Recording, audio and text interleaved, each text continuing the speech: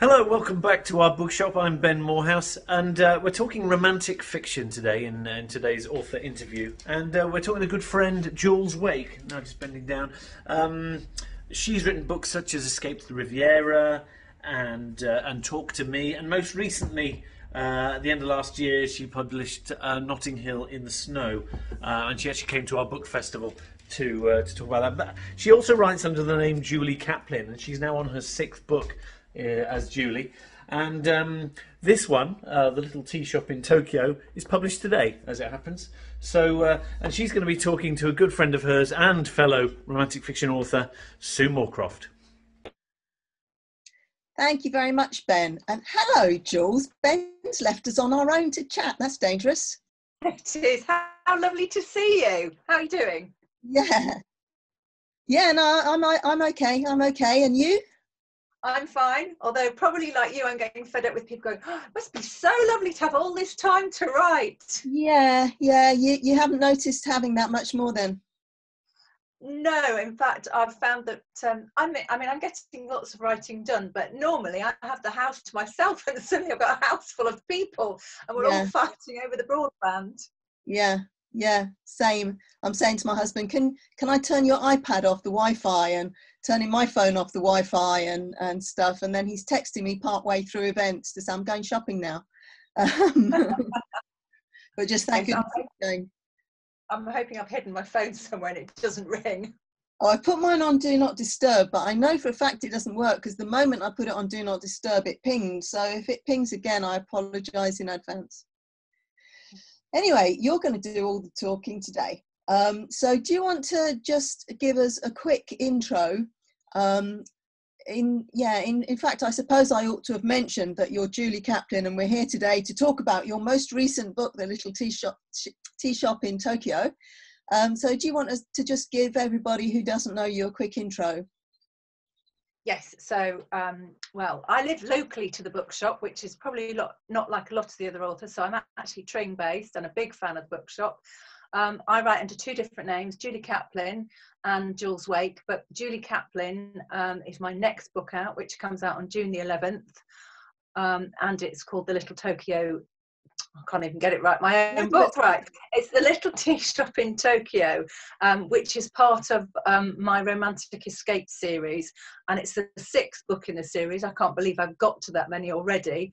Um, and each one is set in a different country or a different city obviously this one is Tokyo. And the idea behind it originally was that it was time to come out um, to coincide with the Olympics, which sadly haven't happened. Oh. Um, but we just have to go ahead with, with the publishing date as is. Um, and it's set in Japan.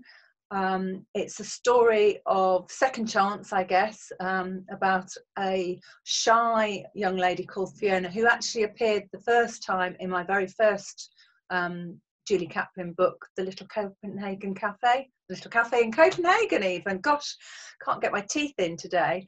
Um, and the, although it's a series of books, each book is a standalone, and it's a series in that some of the characters reappear from book to book.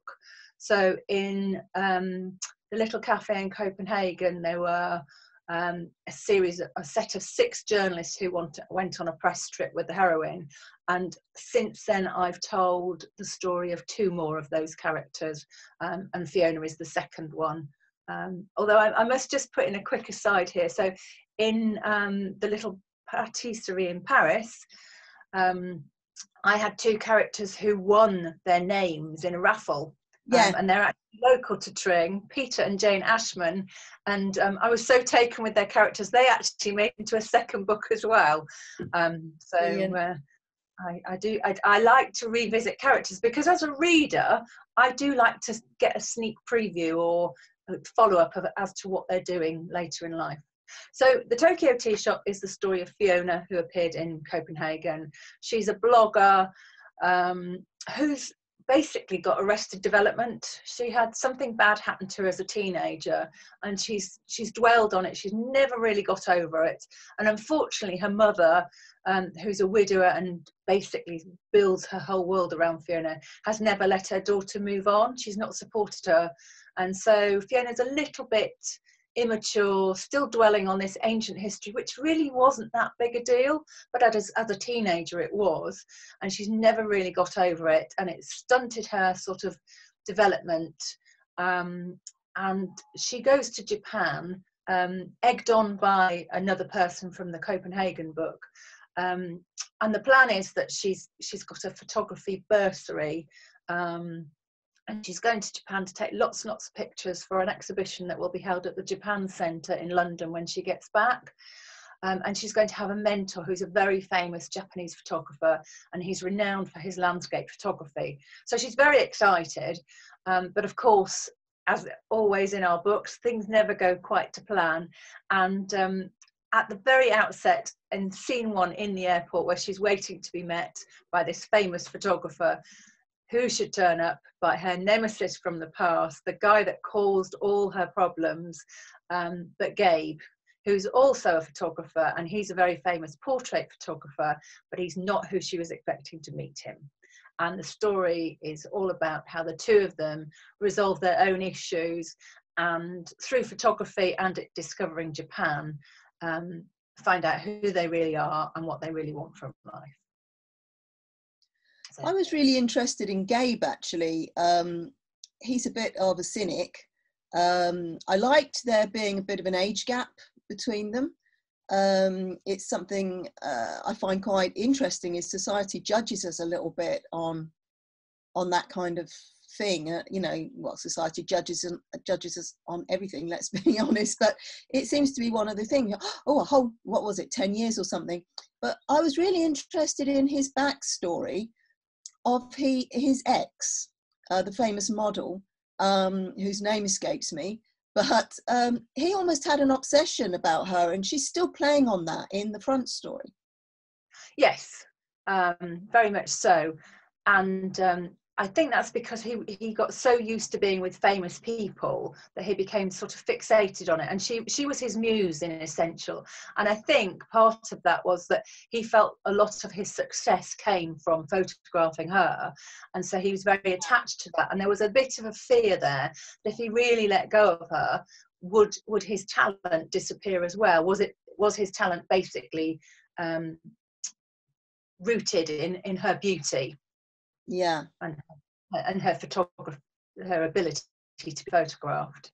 So the part of that not letting go of her and allowing her to manipulate him in the way that she does in the book um, comes from that slight fear that is he really as good as he thinks he is?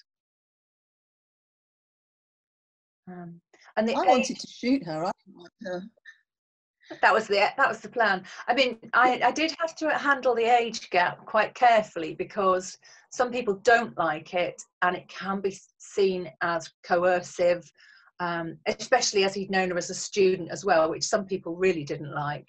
Um, so i did have to manage that quite carefully. And originally i did want them to be 15 years apart. Um, but as i wrote it it became clear that that that couldn't happen. People really wouldn't like it. Even though i know lots of very happily married couples who have bigger age gaps than that. Yeah. Yeah definitely. So. yes. Um so japan i went in 1986 and i felt the little tea shop in tokyo it was like me being able to revisit it. It updated my memories. That big crossing there used to be a massive, um, it was a record shop in those days, the way in the Wave building, um, just there. And so whenever we are in the vicinity, we used to call in because you could, I was only there for three weeks. It makes it sound like I was there for years. Um, but you could get stuff that wasn't out here. And we bought a CD player and we were the only only the second people we knew with a CD player. And I can remember passing the CDs around uh, in the restroom at lunchtime because people had never seen one, and it, it made me so uber cool. Um, and my niece was four, and it was terrible. You know, if you took her to the temple, one of the temples, which as tourists we were going to the mall, you know, another day, another temple, and she would run up and try and ring the big gong thing, and we'd like be trying to stop her because it's not terribly respective, respectable. No, it doesn't respect people's prayer if you've got a, a four-year-old crashing the, uh, the, the the thing. But um, it's obviously made a big impression on on you. What attracts you to Japan and the landscape and the culture? I think it, I was really fascinated by that, such a massive contrast. Um, I mean, we had a Swiss visitor staying in um, November last year, and he'd just come back, and his view of Japan the things that really excited him were completely different from mine. It was absolutely fascinating. So he went on and on about the robot restaurant and how amazing it was. And I was thinking, but what about the temples and the pagodas and the, the cherry blossom and all those beautiful things? But so his view, I mean, he's only 19, was so different from mine. So I really wanted to explore that because the contrast between the, the, the modern and that amazing tradition. I mean, for so many years, Japan was so isolated from the rest of the world. So they, mm-hmm. they've managed to maintain their culture in a far better way than most other countries and i think that's what's so fascinating. Um, and that and they're, they're, they're so respectful of their culture and I want to get over. So with the granddaughter, I really wanted to get over that. Although she was all for the robot restaurant and the modern things and and manga and all and dressing up and cosplay and all that sort of thing, she was still at the end of the day um, very respectful of her mother and her grandmother's appreciation of beauty. And so I I, yeah. I, I seen where they go um, to to one of the parks to look at the cherry blossom, and she's very grudging about it, and very teenagery, and she spends the whole time on her phone. But actually, she knows how important it is to her grandmother, and that's why she always goes. She never doesn't go; she always goes. So I, I was trying to get all of that across in the book when I was writing it, and um, it was really important to have three generations of Japanese women because I wanted um, to have Haruka, who's the grandmother, who's very traditional and very respectful and is very immersed in the culture and talks about the things that she talks about in the book, like kintsugi and that sort of thing. And then I wanted, as a, as a, as a halfway house, the mother who'd grown up in America and could see life from both sides, and then the daughter who was very much for the modern and wanted fast living and didn't have much time for the traditions, although deeply rooted, she did, and she fully expected to absorb those traditions at a later point in her life. So, yes, I had an awful lot of fun researching the book. Yeah, yeah, I'm, I'm, I'm sure. I'd love to go back. Um, I can remember the the cultural thing that surprised me was the men taking centre stage in certain situations, which in the UK I would have expected the, the young women to. Um, I don't know if you got to see the dancing at Omotesando, but on a Sunday they just close this street and everybody turns up with their, I guess it will be doc, uh, iPads and docks now, and it, it was boom boxes at the time. But it's all the guys who are dressed up in in um, it was punk sort of stuff with huge spikes at the time, and they were dancing, and the girls were all standing round and clapping in time, and and I was bursting to get off my seat and go and join in and my sister-in-law and brother were like holding me back, saying, "No, no, it's not for you. It's really not for you. You won't be welcome." Um, but you know, I like to dance, and I wanted to be in there with all these guys. I think a woman's place has changed a little bit in the last 20 years. I, th- I, think they are allowed to be a little bit more out there, especially, I mean, the girls in their cosplay and their costumes yes. are really, really out there. I mean, that, that, that whole thing is, is absolutely fascinating. Um, so yeah. I was I was just going to grab a book from my bookshelf actually. Okay, I'll I'll talk among myself while you're doing that. I was just what so obviously you go to the country and you absorb a lot of things while you're there but you have to do your desk research and i was lucky enough yeah. to find this beautiful beautiful book and i really recommend it because it's all about the culture and the ceramics and design and it covers so much it was you can see yeah. from all the tabs it was absolutely yeah, invaluable. Yeah, yeah. Um, because although you, you, can you can visit a country and you can pick up a certain amount, but you still have to do your desk research and, and to dig a little deeper. And there were a couple of themes that I picked up from the research that I wanted to explore within the book. So like this concept of kintsugi, um, which is I don't, I don't know if you knew about it, but it's where it's they in my new book. Sorry, it's in my new book. Oh, marvelous! Yeah. so basically, the Japanese um, have great um, uh, appreciation of aesthetic beauty um, and beauty in in something of its own. And so, if something is broken, like a vase, they will mend it with golden glue to retain the original integrity, but to make it still beautiful, even though it has been broken. But there's beauty in that break and the fact that they've cared for it. And it was a concept I'd never heard of, and I thought it was absolutely fascinating, especially as my character, Fiona, has got that break in her. She's mm been broken at quite a young age and she needs to be fixed and her trip to japan is about being fixed and um, the whole concept of kintsugi just fitted perfectly. Yeah yeah it really did. Uh, i to get it into a book about malta but that's another story. Um, i'm fascinated to read that one now. It's, it's kind of in passing but you know it's somebody's got um, a craft business and that's their their contribution to it. Right. Um, so um, I like also Fiona and Gabe having a past. Um, I love reunion books anyway to read. You know, I love all your books. That I haven't met a book of yours that I didn't love, whether you're being Julie Caplin or Jules Wake on that day. Um, and this book was really up there with with the best in my view. And I think part of that is it's a reunion book. They they had a thing. It wasn't a big thing, um, well, it depends how you look at it, whether it was a big thing, but it wasn't like they were married or anything. No. Um, and I love this bringing back together.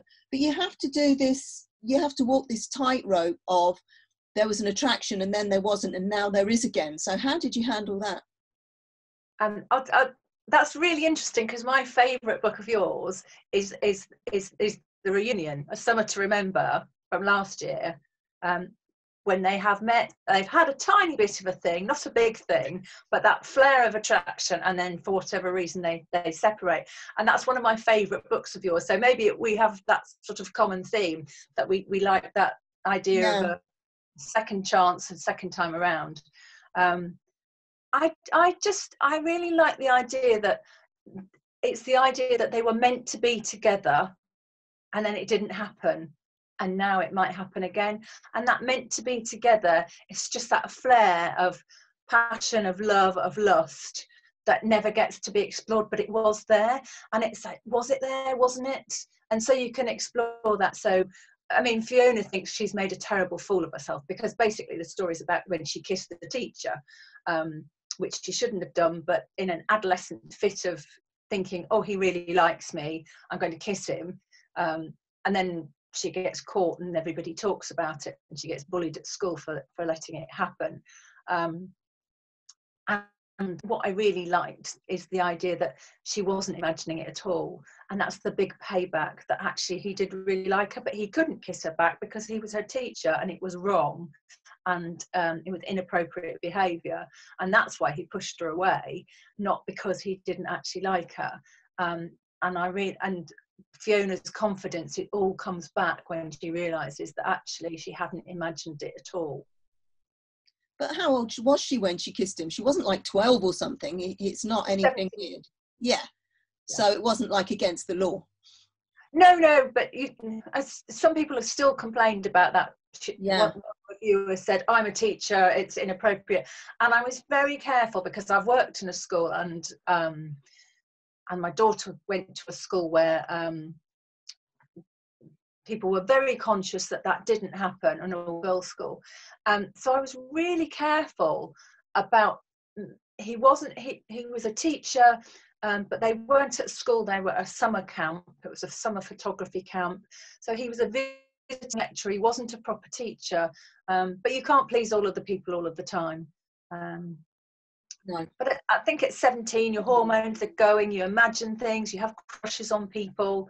Um, and when you look back on them, you think, oh my God, I was such an idiot. so, did that come from your past then? Were you an idiot at 17 with someone?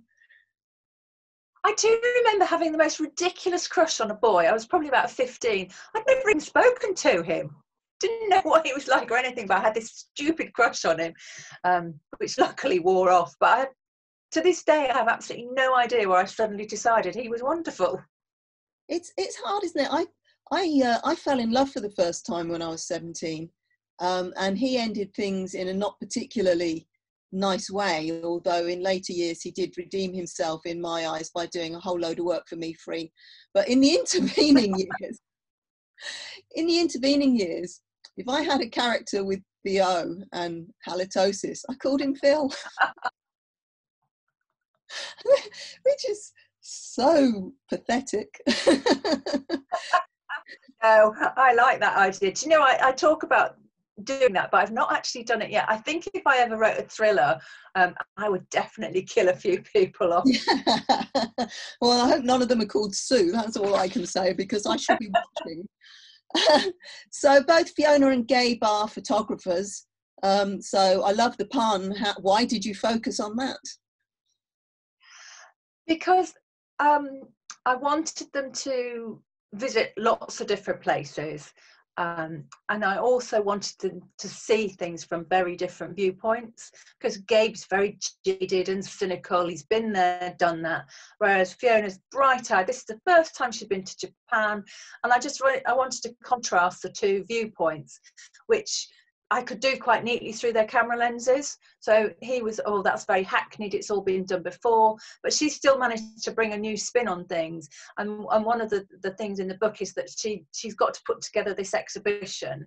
Um, and of course, everybody's got lots and lots and lots of pictures of, of Japan. You can look them up on the computer. There's there's nothing new and of course she's got to put an exhibition together and she's really keen for it to be new and different.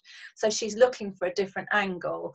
And one of what she comes up with is the way that other people see those tourist sites for the first time that wonderment and and oh my gosh isn't that amazing? So so she comes up with the idea that she's going to capture that. And of course gabe watching her thinks i've lost all that. I've lost that wonder. And he starts seeing through her eyes that actually there's still a lot there's still different angles to take there's always a different view. I was, I was quite pleased we've got more puns about photography than, than we need there sorry carry on.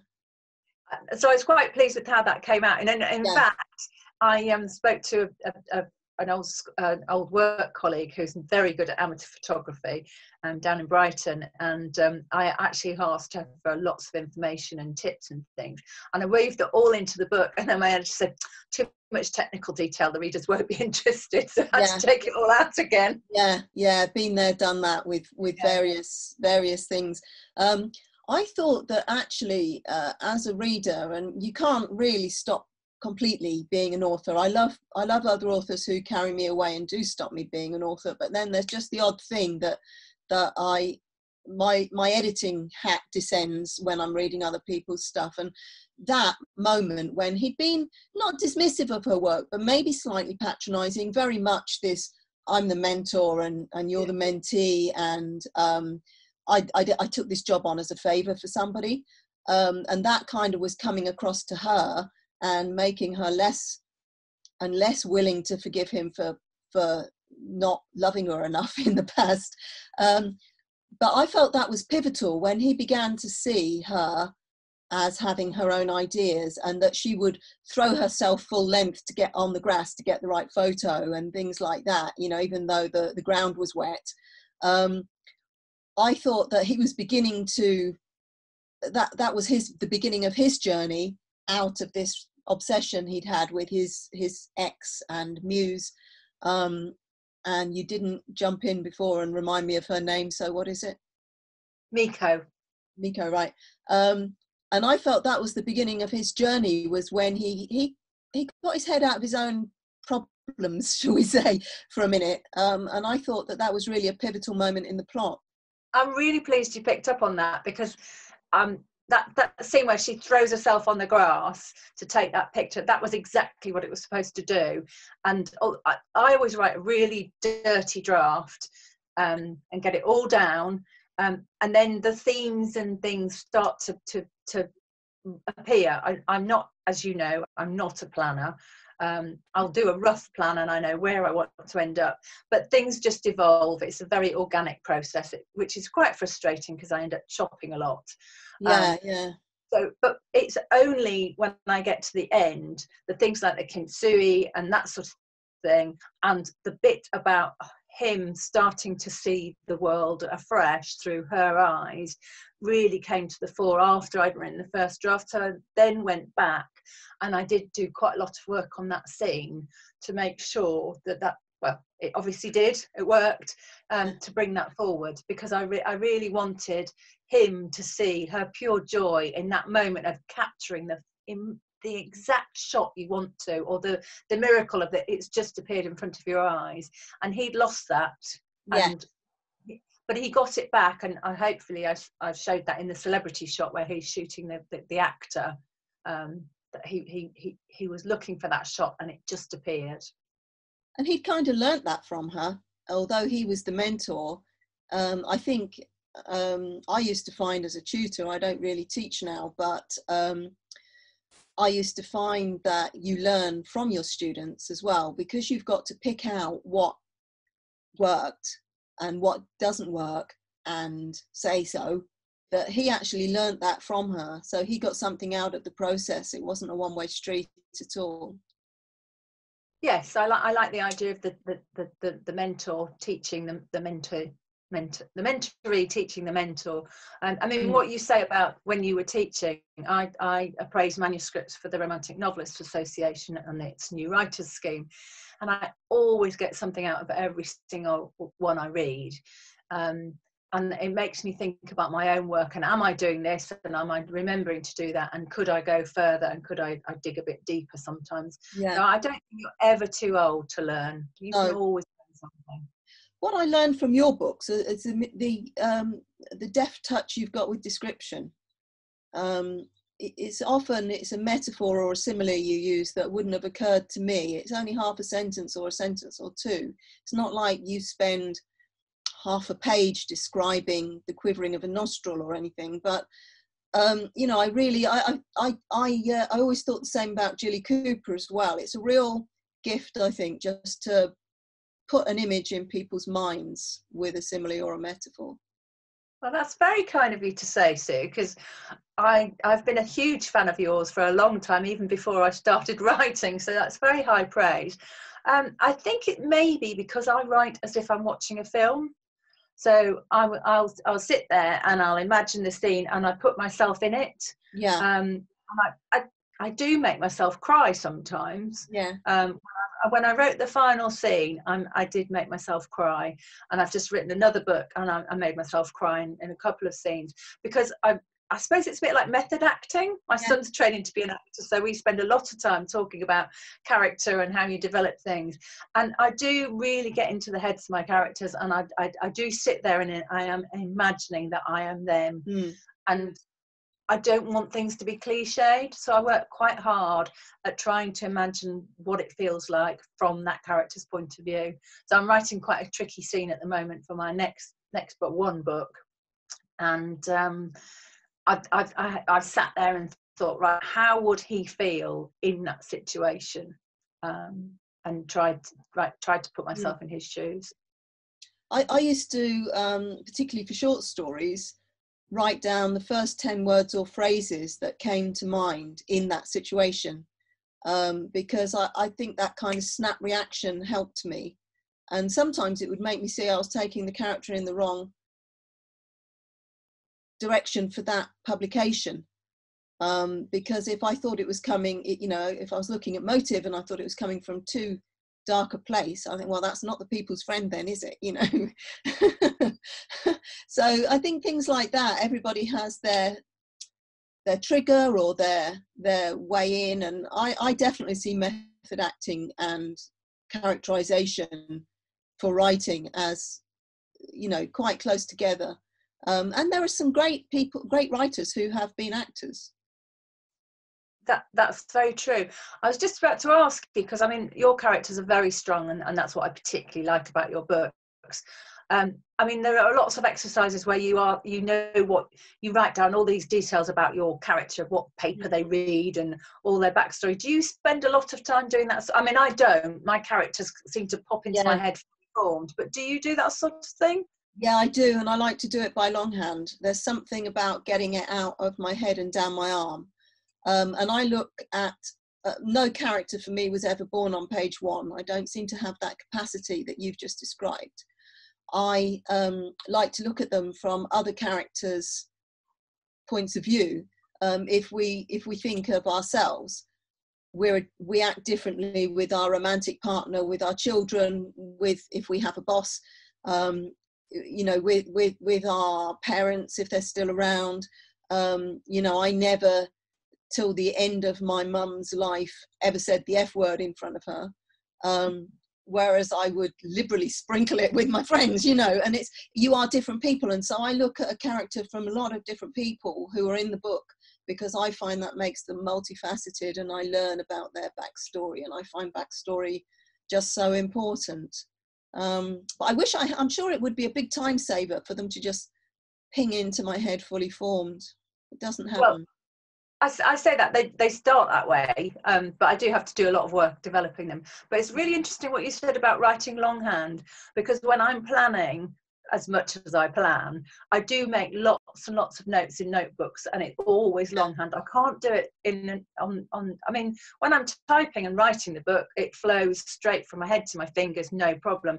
But planning and thinking about the book in advance, I always have to do it longhand, always in notebooks. I've got lots of different notebooks, mm. um, but but that that seems to be an essential part of the process.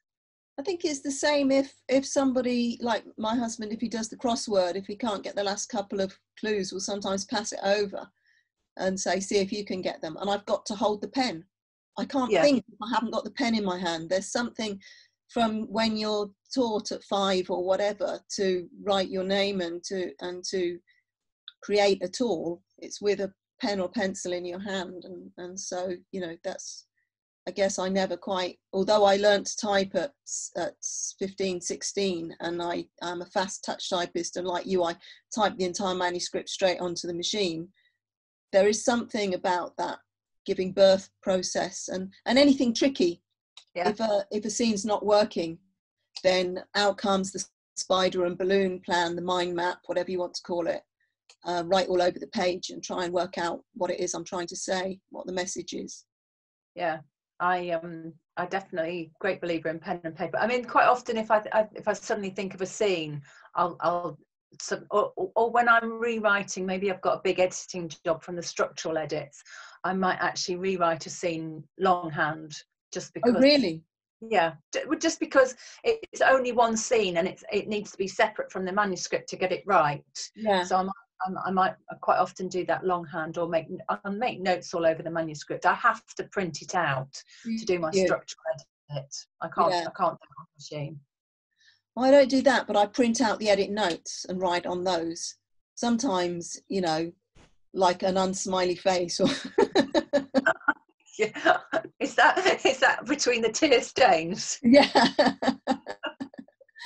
yeah, editing, we could do a whole hour just on that, really, couldn't oh. we? Maybe we ought to. Maybe we ought to do yeah. a how we edit kind of uh, thing for YouTube. I think it would be interesting. How to write masterclass or how not to write. Yeah, how to unwrite. Yeah. yeah.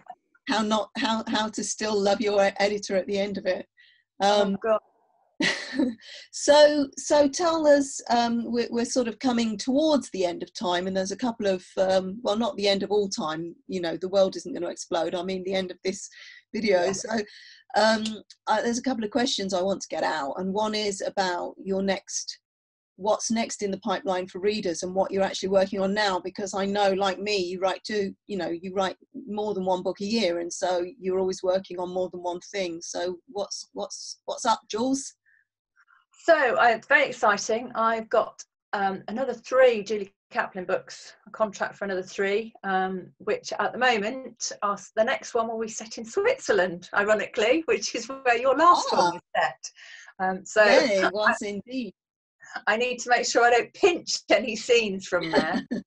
um, but uh, and unfortunately, I do like to get try and go to a country to get real flavour, but um, I'm not sure. I'll be able to get to Switzerland. So I might have to call you and pick your brains a bit. Um, I can share photos with you. Thank you. Um, and then I have a Jules Wake book out in the summer, which I'm very excited about. It's coming out in August, and it's all about the park run.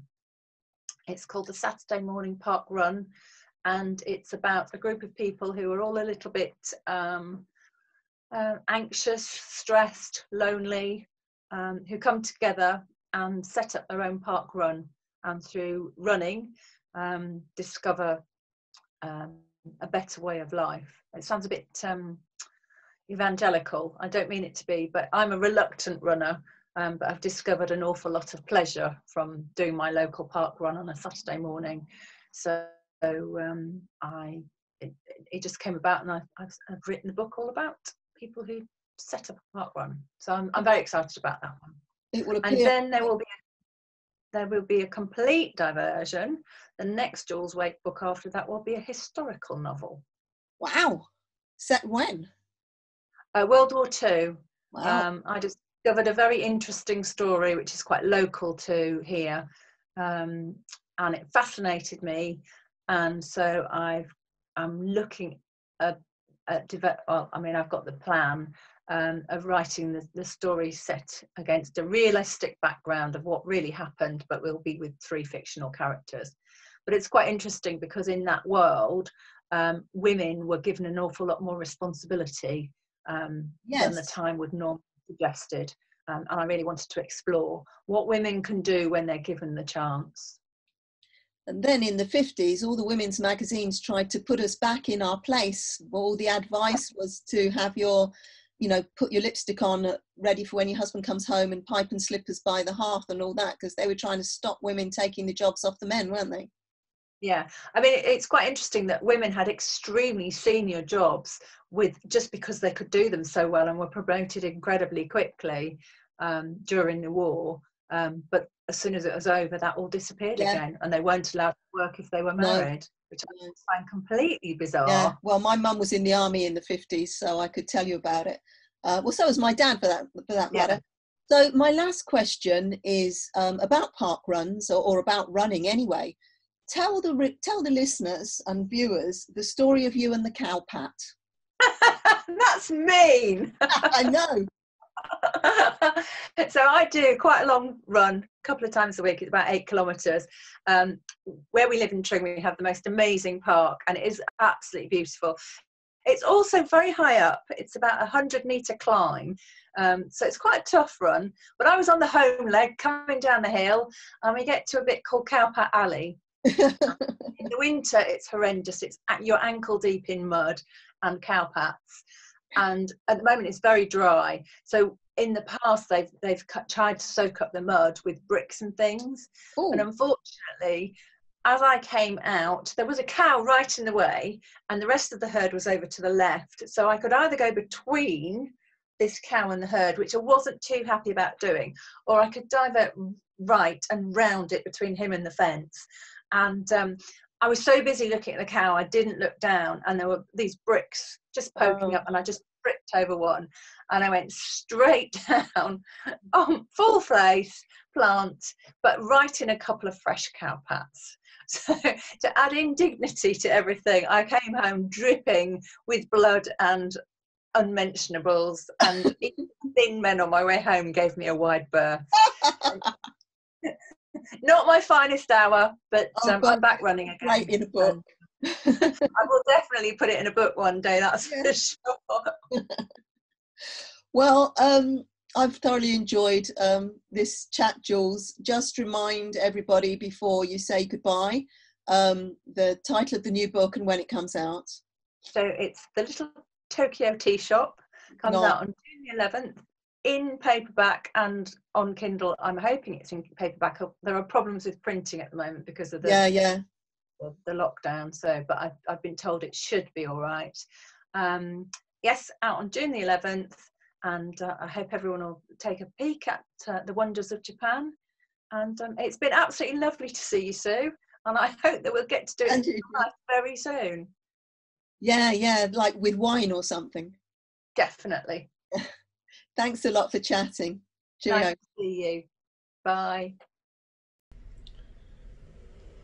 Massive thanks to Sue and to Jules for that wonderful interview. Uh, so, a little tea shop in Tokyo is available in our bookshop, uh, 01442 827 653. follow the blurb underneath. I'll also list um, Jules Wake and Julie Caplin, as well as Sue Moorcroft's uh, most recent books as well. So uh, if you fancy ordering any of those, do give us a shout. Um, author interviews are carrying on. I've got about six already pre-recorded, uh, which we'll be posting out in the next few days. So uh, do do subscribe to our YouTube channel, and uh, we'll hopefully see you very soon for the next one.